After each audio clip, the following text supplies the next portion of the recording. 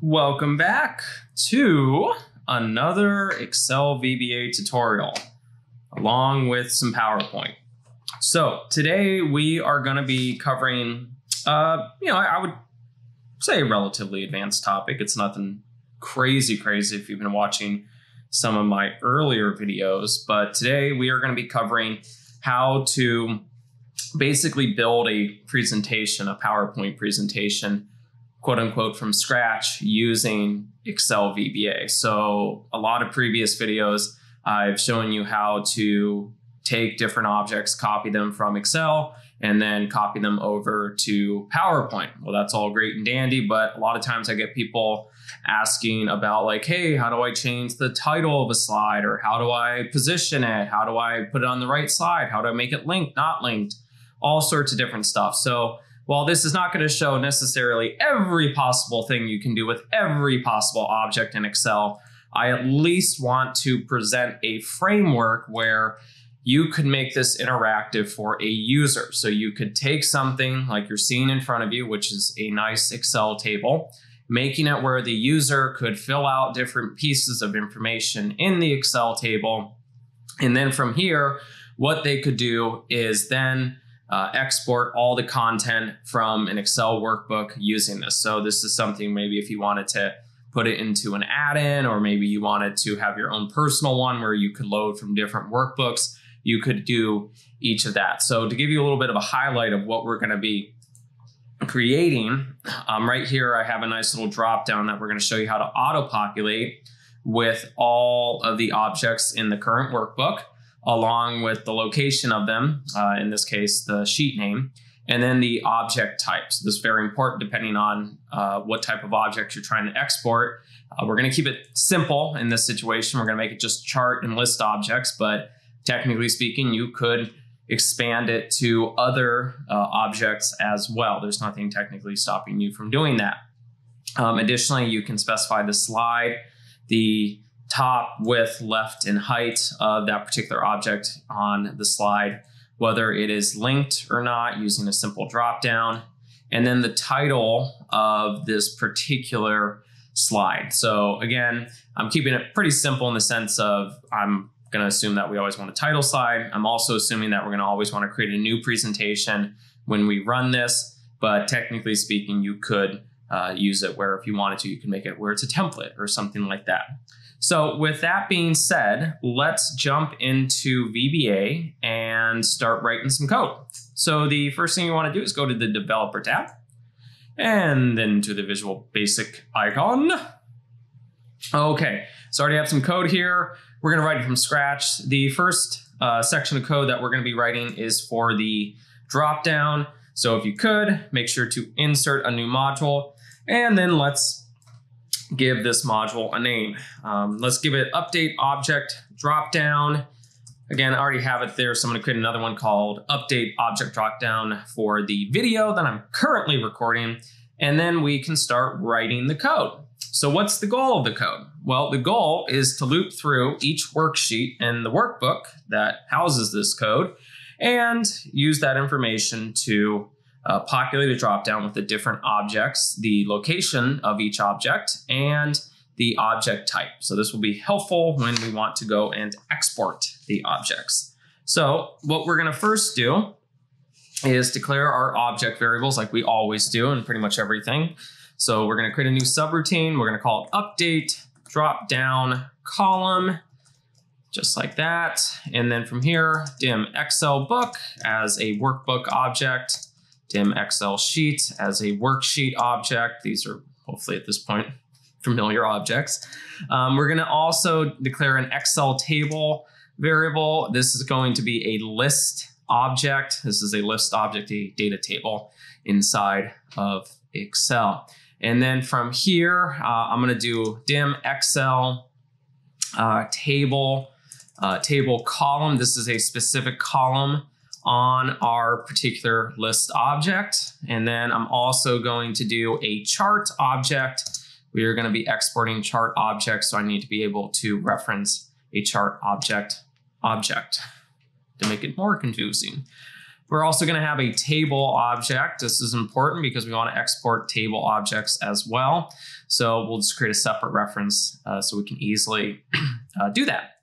Now, something that's important is we're going to be storing each of these strings in an array. So we're going to also have to create another uh, variable called dim object array. I'm going to put my little uh, brackets to denote that it's a an array. And then it's going to be an array of strings. So I want a, an array of string uh, all together. And then additionally, I will be needing to populate this array. So I'm going to have to define uh, integer data type where I can iterate or increment it and increase it as I need to add more elements to my array. So this is going to help us add elements to this array right here. Okay, and then from here, let's grab the book. So we'll set the book. And then we'll say set Excel book equal to this workbook. I'm going to tell you right now, if you are planning to share this code with other people, this is probably not what you're gonna wanna do. You're probably gonna wanna do active workbook. Be a little bit careful with that because obviously we know that with active workbook, that is the workbook where it is currently active in Excel. So it's the one we have our cursor in. So if you share this with other people, I would not recommend this. But if you go active workbook, make sure that you can easily identify the workbook that the user wants to grab the objects from. So this, I'm making my life easier, but I'm also not being super flexible with myself. Okay, then from here, we're going to loop through each worksheet in the workbook. And from here, I'm gonna do for each, not fro, for each Excel sheet in Excel book. I'm gonna go to that worksheets collection. I'll do next and then start tabbing it. If we have charts, well, how do we know if we have charts? Well, if Excel sheet dot chart objects dot count is greater than zero, that means we have charts. I'm gonna do end if, and then from here, what do we need to do? Well, we're gonna loop through each chart object and we're basically just gonna grab its name.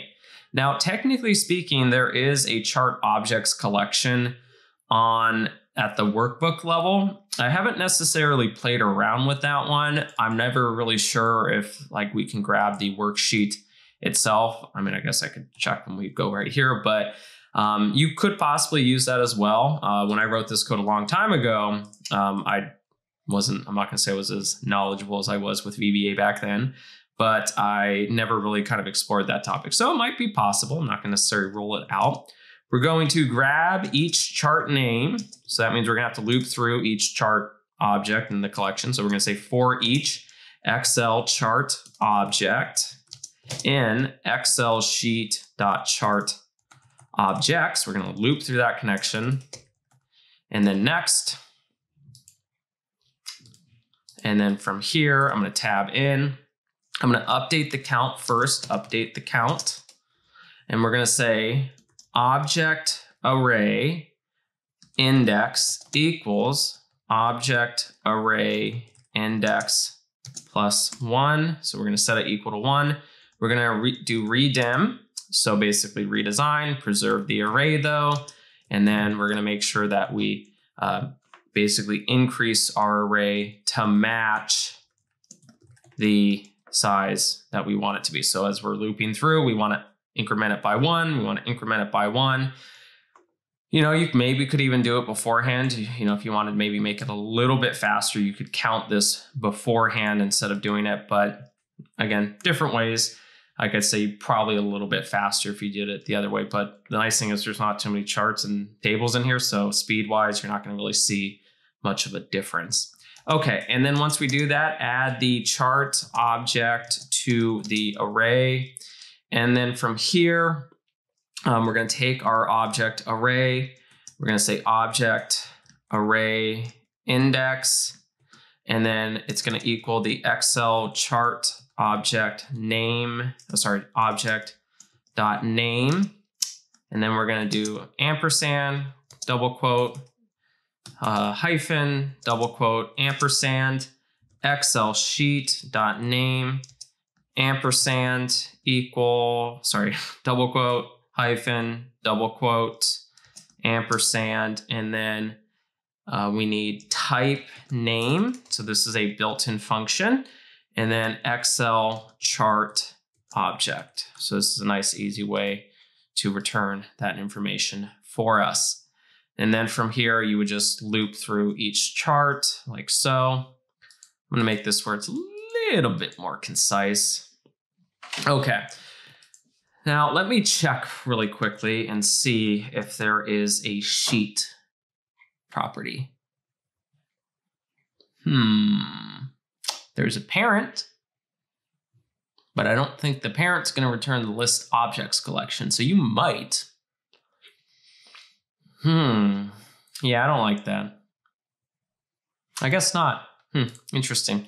So, I mean, you probably could do parent dot parent. That would probably return the sheet name. Um, you wouldn't have IntelliSense though. That would be the only kind of downside about that. Um, but yeah, so that's basically adding in the chart objects. So we're going to continue on with this and we're basically going to do the same thing.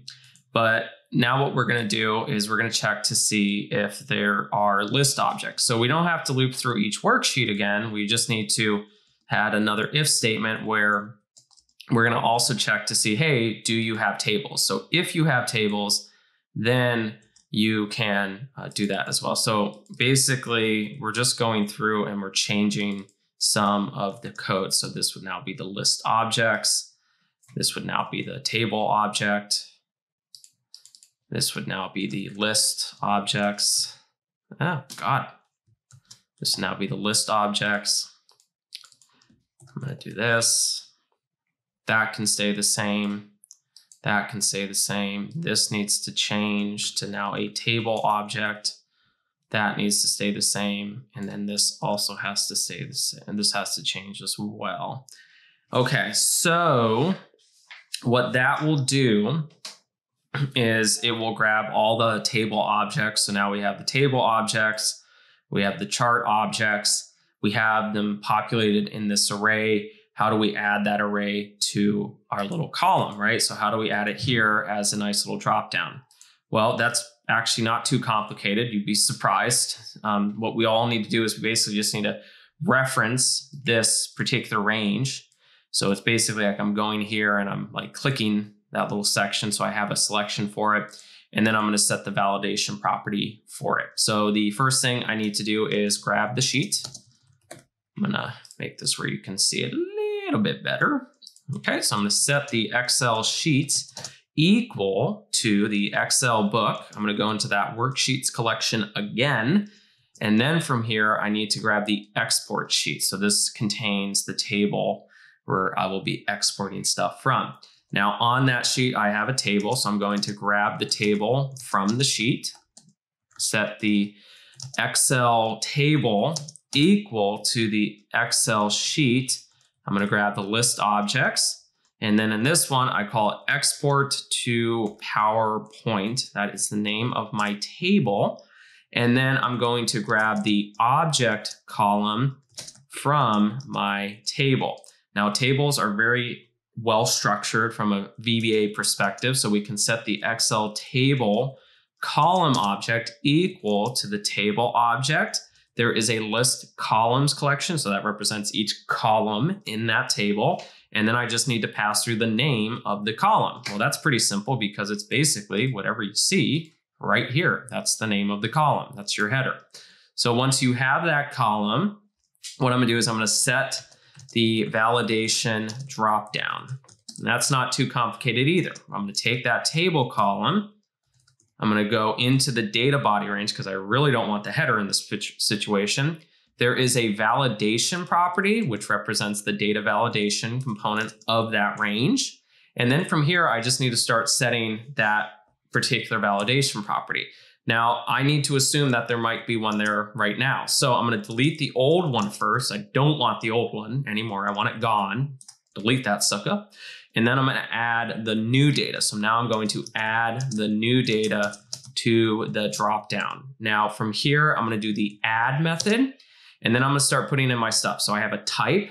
In this situation, my data validation is an Excel validate list. It's a drop-down list. Uh, in this situation, do I have an alert style? Not really, but I'll just put it in here so people can see it. And then from here, uh, did I misspell it correctly?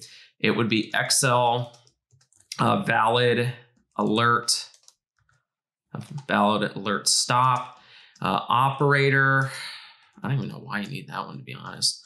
Uh, Excel between, that's fine. And then from here, we have a formula. So what is the formula? This is the important part. so we're going to use the join function, the built-in join function. You can pass through an array. Well, I just want to pass through my object array of strings, and then I want to join them by a comma. So normally when we create a drop-down list, we have to put in each value separated by a comma. So all this is going to do is it's going to concatenate, or it's basically going to join each element in that particular object array, and it's going to join them using a comma character. And then once you do that, you'll be good to go. And then um, there was this other property that was there when I recorded it. Personally, I've had it turned off and I didn't have any issues with it. So uh, I don't think you really need this portion, but I just put it in there because it seems like it would go with it in cell dropdown equals true. Okay, so let's take a look and see what happens. So the first thing that I'm going to do is I'm going to delete the old one. I'm going to say any value, press OK. And then uh, let's see what happens. Let me first make sure See. Okay. It's probably because I. Oh, a rarity. Debug.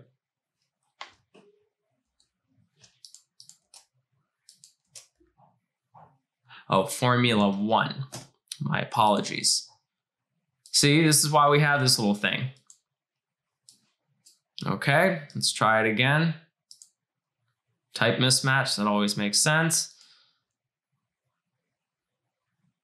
Excel table, object, Excel sheet,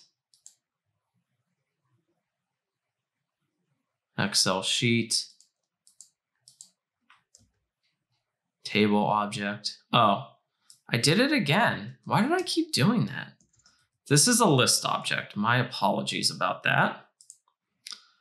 I keep doing that with, I did that yesterday when I was writing the code. I don't know why I did that. Okay, so it looks like it worked successfully that time. And now you can see we have a dropdown that has each object name, the object location, so the sheet name, and then the object type. And with that, that concludes the first video. So in our second video, we're now going to move on to the next component, which is building the script that will export all of our data from Excel to PowerPoint. However, if you have questions regarding this particular video, feel free to put them down in the comments below. Otherwise, we will see you in video number two.